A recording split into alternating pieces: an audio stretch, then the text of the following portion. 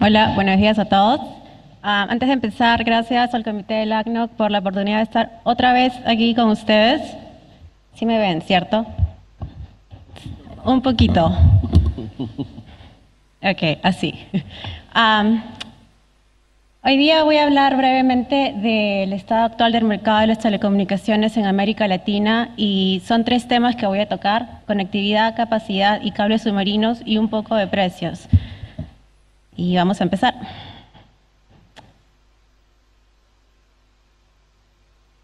Ah. Ok. Um, antes de empezar, quiero definir el término ancho de banda internacional. En Telegeography definimos ancho de banda internacional como la capacidad total desplegada para redes de voz, redes privadas y redes de tipo de um, backbone um, IP, que es el Internet de tipo público.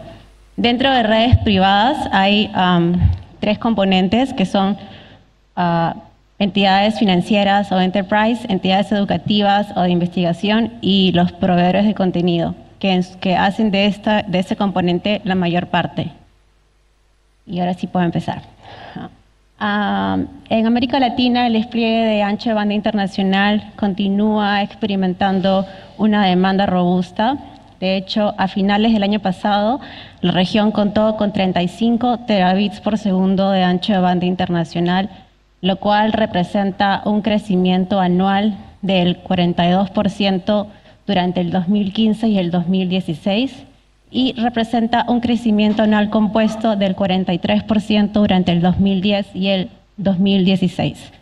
Si notamos en la gráfica, vemos que la capacidad se va duplicando cada dos años.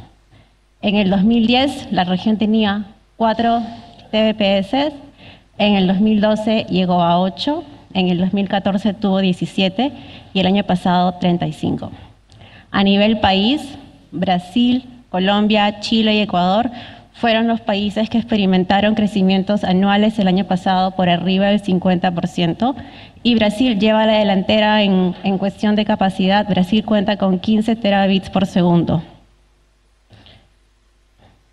Si comparamos América Latina con el resto de regiones que estudiamos en Telegeography, vemos que el crecimiento anual se mantiene estable y va a la par con lo que vemos en regiones de Europa y Estados Unidos y Canadá. De hecho, a partir de 2013 vemos que el crecimiento anual se mantiene en el rango del 40 y 45%, mientras que Asia es el único que es un poco diferente Ah, con tasas de crecimiento anuales por encima de ese rango. Ah, Asia es bastante particular, es una región en la que en los últimos años ah, ha visto un montón de competencia y se ha inyectado bastante capacidad.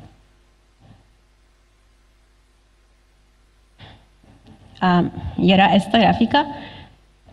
En los últimos dos días hemos escuchado CDNs, Facebook, Google, Netflix, Amazon, son los chicos de moda. Entonces, esta gráfica muestra a nivel global el papel que los proveedores de contenido están jugando. Para explicarles, estos son los seis elementos que les expliqué al comienzo de la presentación. Azul quiere decir uh, backbone, IP backbone, Internet público. Rojo, CDNs. Amarillo, Enterprise. Verde, Educación y Research. Y voz, NICB. A partir de, desde el 2010 hasta el 2016, hemos visto que la capacidad desplegada para redes de IP Backbone ha venido en descenso. En el 2010 formaban casi el 80% del total de ancho de banda internacional global y en el 2016 es cerca del 58%, mientras que los proveedores de contenido han venido desplegando capacidad a pasos agigantados y si vemos en el 2010 eran cerca hasta menos del 10% y a finales del año pasado representan un 33%. Esto es a nivel global. Si vemos en detalle a nivel ruta, en el transatlántico los proveedores de contenido han superado um, la capacidad desplegada por um, IP Backbone. El año pasado eso, um, la capacidad desplegada por los CDNs en el transatlántico llegó a casi 68% el Transpacífico e Intraasia es 52 y 54% respectivamente, mientras que en América Latina todavía es un poco lento, en la ruta USA, um, Estados, I mean, USA América Latina, los proveedores de contenido solamente representan el 17%. Pero si vemos en cuestión de seis años, hemos ido de casi nada, de casi 2% a un 17%. ¿En dónde se ubican estas compañías? El mapa solamente muestra los data centers que estas compañías son dueñas de. No quiere decir, no estoy hablando de Equinix, no estoy hablando de ninguno de esos centros de datos, solamente estoy hablando de los centros de datos que son um, operados y son dueños por estas CDNs. Tenemos a, Apple, Amazon, Microsoft, Facebook y Google. Y para arreglar, porque no tuve tiempo de arreglarla, en Brasil vemos que Google está como futuro, pero el centro de datos ya entró en operación hace unas semanas atrás. Algo que quiero resaltar es que la mayoría de centros de datos de estas compañías están ya sea en Norteamérica o en Europa. Y en Norteamérica, si ven, están en la costa oeste y en la costa este. Y en Europa en la parte oeste, en el oeste.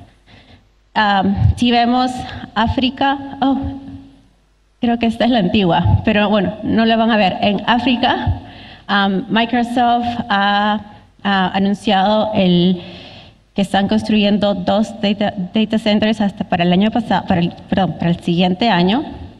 Y um, vemos que también hay actividad en, en Asia y en Asia Pacífico. Para que vean el rol que estas compañías tienen, les voy a dar un ejemplo.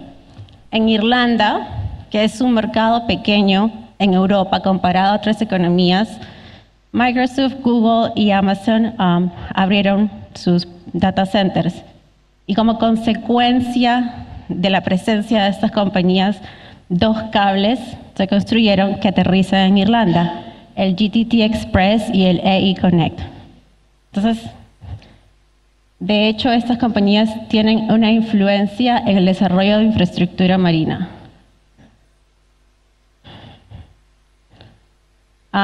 ¿Y en dónde es que invierten? Quiero hacer una, aclarar que no, la, tabla no solamente muestra que Google es el único que está invirtiendo aquí en la región, sino que sabemos de otras compañías que ah, de pronto no figuran como dueños de cables, pero son um, anchor customers o como clientes que compran ya sea pares de fibras o que compran Spectrum. ¿Por qué es que estas compañías están invirtiendo en su propia infraestructura? es porque los requerimientos de datos que ellos tienen son altísimos. Entonces, en lugar de ir a un carrier tradicional, han decidido pasar a ser dueños. De hecho, Google fue el primero que hizo esa transición en el año 2010 con el cable a Unity. Y aquí en la región hay tres cables en los que está participando, que son Monet, Tana y Junior. Y en total son nueve cables de los que eh, ellos son dueños. Facebook y Microsoft son cuatro cables y uh, Amazon tiene uno.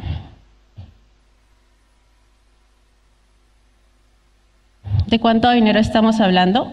De bastante. En América Latina um, se espera que durante el 2017 y el 2019 se inviertan más de 1.5 billones de dólares en cables submarinos. Um, Quiero aclarar que no todos los cables que se anuncian son construidos, porque no todos completan el, funding que necesitan para ser um, llevados a cabo. Hay un montón de actividad en el Transpacífico, así como también en África, pero um, es esta región la que está viendo bastante inversión en infraestructura marina.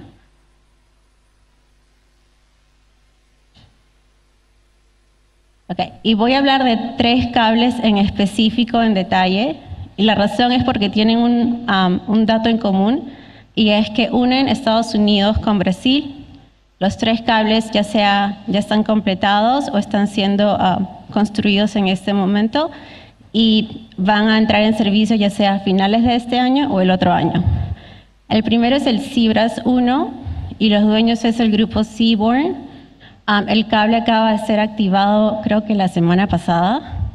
Este cable tiene seis pares de fibras con 72 terabits por segundo de capacidad total y une a Estados Unidos con Brasil aterrizando en New Jersey y en Estados Unidos y en Praia Grande en Brasil. El siguiente cable es Monet, que es un cable de tipo consorcio. Los miembros del consorcio son Algar Telecom de Brasil, Angola Cables, Antel Uruguay y Google. Se espera que el cable esté listo ah, para entrar en servicio en el trimestre, el próximo trimestre de este año. Tiene seis pares de fibras con una capacidad total de, de 64 terabits por segundo. La ruta que sigue el cable es Boca Ratón en la Florida, Fortaleza y Santos en Brasil. Y el tercer cable en esta ruta es Brusa, que los dueños son Telxius. Telxius es una compañía de telefónica. Se espera que el cable esté listo ah, para entrar en servicio a mediados del próximo año. Este cable tiene una capacidad increíble de 108 terabits por segundo sobre ah, 8 pares de fibra óptica. Y aterriza en Estados Unidos en Virginia Beach, ah, pasa por Puerto Rico y en Brasil llega a Fortaleza y a Río. Fuera de esos tres cables, hay más cables. Ah, a nivel intrarregional tenemos tres proyectos. Junior, que es un cable doméstico para uso exclusivo de Google, que espera conectar Sao Paulo con Río y se espera que esté listo a finales de este año. TANAT conecta a Brasil con Uruguay y es la extensión de Monet. Ah, los dueños de TANAT son Google y Entel Uruguay. Eh, ARBR, que es la extensión del Cibras 1 y va de Argentina a Brasil. En el Atlántico hay tres proyectos, dos de estos proyectos esperan conectar Brasil con África y uno de ellos ya está haciendo, um, ya está llevándose a cabo, que es el SACS. Ah, tenemos el SAIL entre Brasil y Camerún y ELA-Link, que es un proyecto que espera conectar Brasil con Europa. El Caribe, que no ha visto actividad en varios años, está viendo actividad ahora. Um, el primer cable es un cable de Orange, que se llama Kanawha, que espera conectar cuatro islas. Y después tenemos un cable bastante ambicioso, que es el Deep Blue Cable, que ha sido ah, propuesto por Digicel. Creo que va a conectar más de 12 mercados en el Caribe con Estados Unidos, Panamá y Colombia. Y en el Pacífico ah, tenemos al SAPL, que está siendo propuesto por Ocean Networks y quiere conectar este cable a Estados Unidos con Chile, Panamá para el 2019.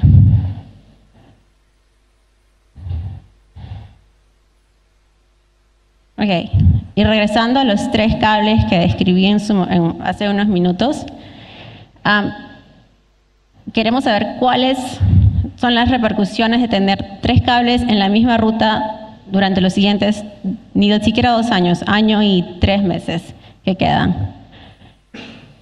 En la actualidad, la ruta Estados Unidos-América Latina cuenta con cerca de 300 terabits por segundo de capacidad total y capacidad encendida son casi 40 terabits por segundo. Asumiendo que los cables que ahorita sirven esa ruta no van a tener ni un solo upgrade, ¿ok? que no van a ser actualizados para nada. Y asumiendo que la capacidad encendida va a crecer al mismo ritmo que hemos visto en los últimos años.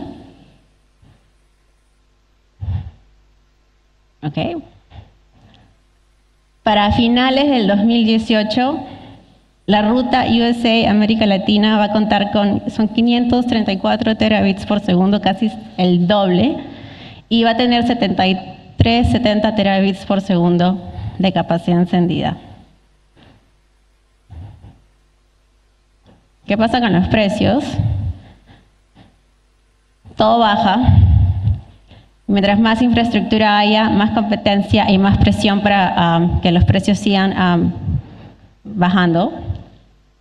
En la ruta Miami-Sao Paulo, que es la que usamos como ruta benchmark, a finales del año pasado, un circuito de 10G, esta es la mediana, costaba al mes 16 mil dólares. Las proyecciones que hacemos es que para finales de 2020 ese mismo circuito baje a una tasa de 28% y cueste solamente 4.400 dólares. buenas noticias para los que están comprando, malas noticias para los que están vendiendo. Tránsito IP es la misma historia.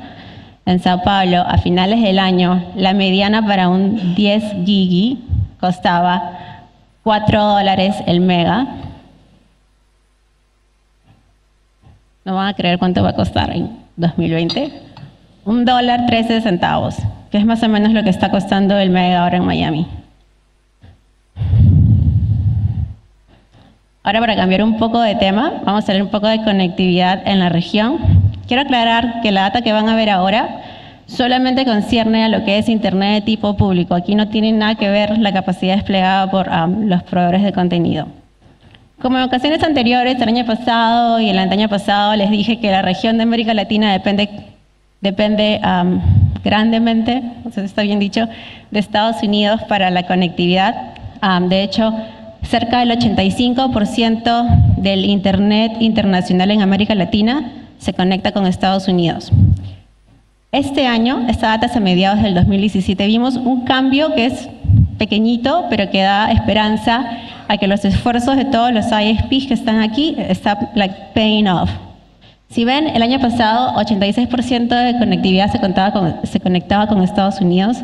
Este año bajó 4 puntos, 81% mientras que la conectividad intrarregional, que es la conectividad entre países de la región, fue de un 13% a un 18%, aumentó. Cuando vemos el crecimiento anual, la conectividad eh, con Estados Unidos solamente creció un 28%, mientras que la, la conectividad intrarregional tuvo un crecimiento anual de 74%. Es bastante. Pero sin embargo, los números son cortos, el número total es pequeño. América Latina cuenta con 36 terabits por segundo de Internet internacional. 29 terabits por segundo son conectados con Estados Unidos, mientras que 6 son intrarregionales. O sea, es bastante pequeña la proporción, pero um, si seguimos a este mismo ritmo de crecimiento del 70%, 50%, lo más probable es que la tendencia vaya bajando para la conectividad con Estados Unidos y subiendo para la conectividad intrarregional. el mapa que les quería mostrar es el siguiente.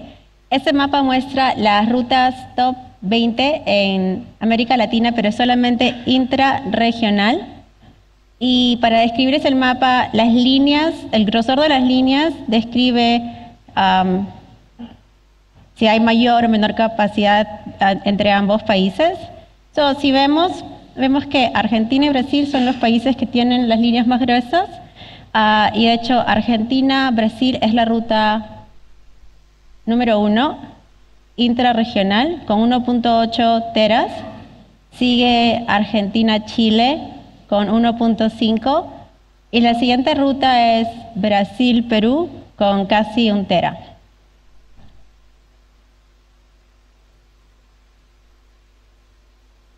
Oh, no, es acá, perdón. Por ende, si, si Brasil, Argentina, Chile son los países con mayor capacidad, podemos asumir que a nivel metropolitano van a ser las ciudades en estos países con mayor capacidad, con mayor Internet internacional en la región. Sao Paulo cuenta con casi 8 teras, le sigue Buenos Aires, Río de Janeiro, Ciudad de México, Santiago, Lima, Panamá y Bogotá.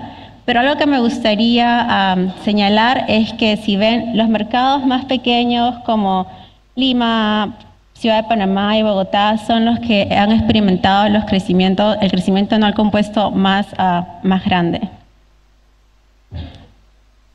Y para terminar, estamos viendo que hay una, diversidad física en lo que es las rutas de cables submarinos.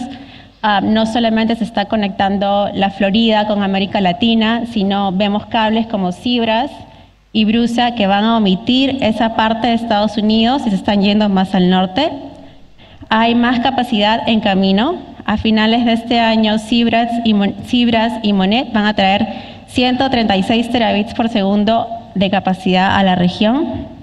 Los proveedores de contenido están jugando un nuevo papel, ya no son clientes, sino son dueños.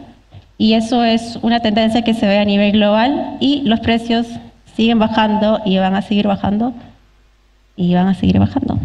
Y eso es todo. Gracias y si hay preguntas.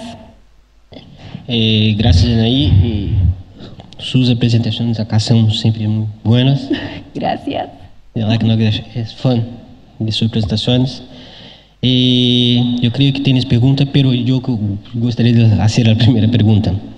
Eh, nosotros sabemos que cabos submarinos son muy complejos, son costosos y depende de investimento, ¿no? Y tienen muchos riscos como naturales, riscos financieros. Y hoy hay una diferencia para a 10 anos atrás, que es os investidores de cabos submarinos hoje são basicamente eh, webscales como Google, Facebook, Microsoft, Amazon. E agora em Brasil tem um cenário muito interessante que os pequenos e médios provedores agora estão formando grupos e estão indo comprar diretamente para o provedor de cabo um euro que é caro por ejemplo, un giro de Brasil para Estados Unidos custa en media 650 mil dólares por 10 años. Y, y básicamente las webscales hacen los cabos para su infraestructura propia, como tráfego intracluster para su data center, o para servicios de cloud como Google Cloud o, o Azure. Y en otros países há um movimento parecido como este de pequenos provedores e médios provedores fazendo grupos para comprar hilo que até 15 anos atrás isto era impensável, não? Não tínhamos este tipo de perfil. Você sabe dizer algo sobre isto? Um, espanhol, inglés, español. Ok. No podría decirte con exactitud si es la misma historia que estás describiendo en Brasil, pero para ponerles en un contexto grande, América Latina tiene un montón de similaridades con la región de África. África no tenía ni un solo cable hace 12 años atrás y ahora ha visto un boom de cables, lo que se ha visto acá. cierto, antes los cables eran para los cinco proveedores principales en una región, luego vienen los proveedores de contenido y sí, la única solución que queda para las pequeñas y medianas ASPs es agruparse para poder ah, tener acceso a capacidad. lo que estás describiendo en Brasil, no sé a qué con qué tanta similaridad está pasando en países específicos, pero sí hemos escuchado que la tendencia es agruparse para poder competir, para poder tener acceso al cable y no sea un monopolio, que eso es lo que al final se convierte. Muchas gracias. Hola. Hola. El número de 81% es un cálculo promedio de la región eh, o eh, todos los países. Pregunto porque, por ejemplo, en Brasil, eh, PTT tiene casi 3 terabits de tráfego. Esto es, si Brasil tiene 15 terabits, esto es 20%. ¿O era el contenido que está ya dentro de los ISPs con cachés? Entonces me pregunto si el número de 81%, ¿cómo usted ha hecho este cálculo? Así, para aclararles cómo es la metodología de nosotros. Para empezar, todo lo que ustedes están viendo es solamente internacional. Nosotros no um, recolectamos data de tráfico doméstico ni nacional. Todo es cross, cross border entre países.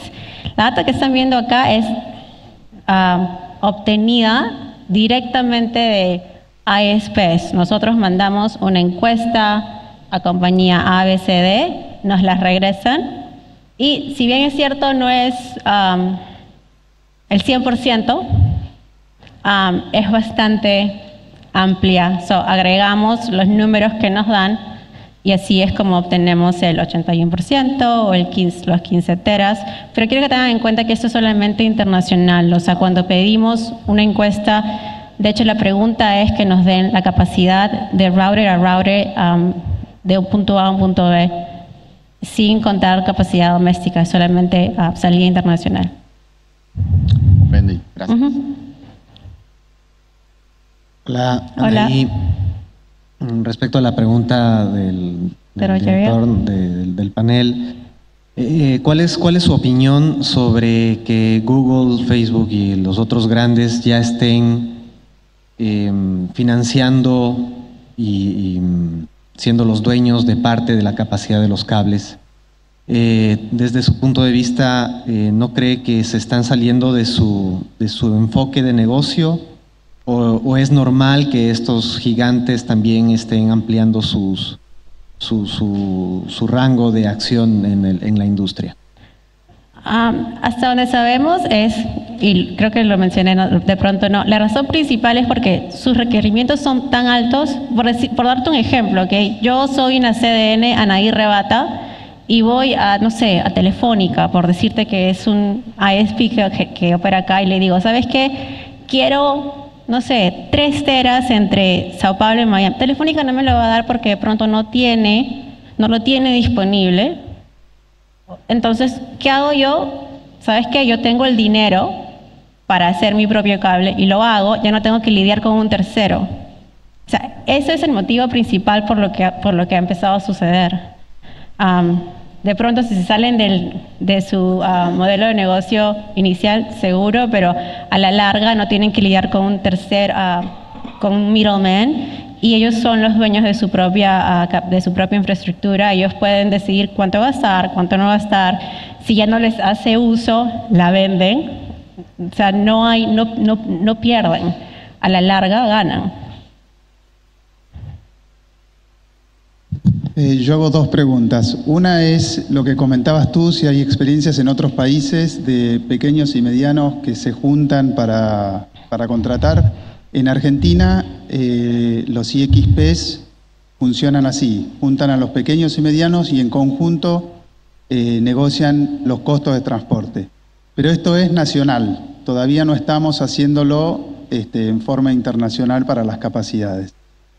Y lo segundo, eh, creo que los cables estos que mostraste en los mapas y que se ven muy gráficamente, tienen una lógica, te diría, capitalista y si quiero ser un poco más este, intenso, diría que tiene una lógica imperialista.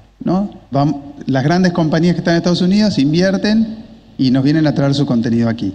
Lo que me preocupa es lo que decías, que hay un crecimiento en la región de tráfico entre los países de Latinoamérica y qué incentivo tendría alguien de poner los cables o hacer la inversión o qué ves vos a futuro de quién este, debería gestionar hacer esta interconexión entre los países de Latinoamérica, siendo que estas compañías no tienen interés en interconectar las regiones porque lo que les interesa es traer el contenido de sus data centers.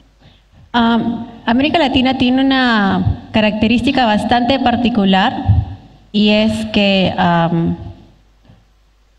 la mayoría de el hub de internet de América Latina es Miami, nos guste o no, por N razones. La primera razón es cuestión de, de que históricamente los cables aterrizan en el sur de la Florida. Número dos es cuestión de precios. No vas a comparar, no vas a comparar lo que pagas por mega en Miami, que es menos de un dólar, a lo que estás pagando en Río, que son cuatro dólares. Y aún así, si tú le aumentas el pipe, te va a salir más barato. Entonces, ¿qué es lo que va a pasar? ¿Qué es lo que va a incentivar a que de pronto haya más desarrollo de infraestructura a nivel intrarregional? Yo creo que es cuando los niveles de ah, conectividad intrarregional sean suficientemente altos. Ahí de pronto vamos a ver más inversión a nivel intrapaís. Mientras tanto, no, no hay motivo, no hay razón.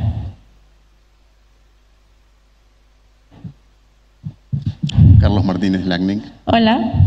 Pero hablando estrictamente a título personal. Eh, en realidad es una pregunta. Eh, mencionaste como que eh, vos, digamos, Telegeography ve en el futuro una tendencia a la baja de los precios.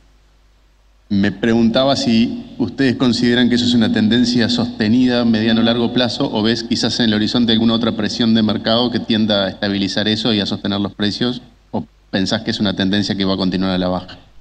Um, cuando estaba, gracias. De hecho, cuando estaba preparando la- las, las gráficas, um, trataba de comparar um, América Latina con mercados más, más maduros, como de pronto el transatlántico, el transpacífico. Y desafortunadamente, a pesar de que ve siempre la erosión de precios, cuando llega al, al plato, cuando ya se empieza a estabilizar, igual, sigue en bajada. De hecho, la, la- la erosión es menos rápida, pero en algún momento los precios se van a estabilizar. ¿Cuándo? No sabemos, pero eh, en, en el transatlántico, a pesar de que es un mercado bastante competitivo, como te digo, sigue, siguen bajando.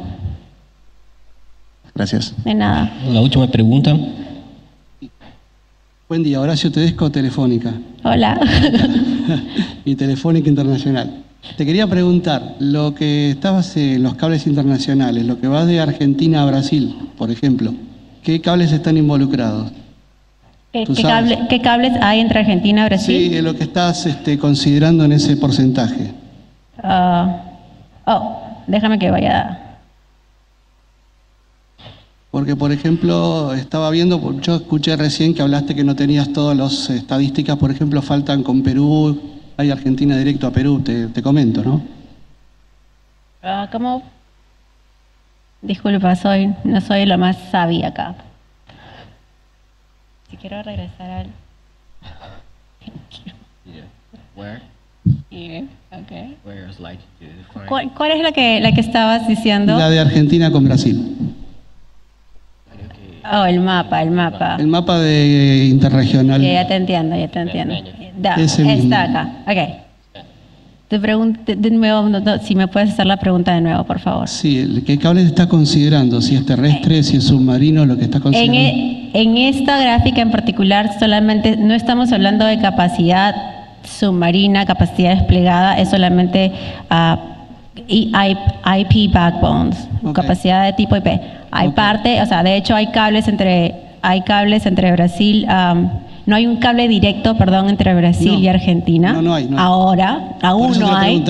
Ya viene, pero eso no quiere eso no quiere decir que porque hay ese link va a haber un cable. No, eso solamente es conectividad de IP.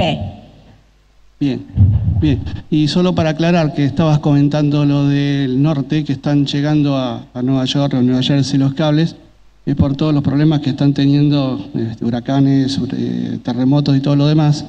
Y como comentario te cuento que en la zona de, de- de- de la costa de Venezuela y Colombia, hace dos meses que se han detectado movimientos de placas y hemos tenido problemas con varios cables, no solamente los de la compañía telefónica, sino otros.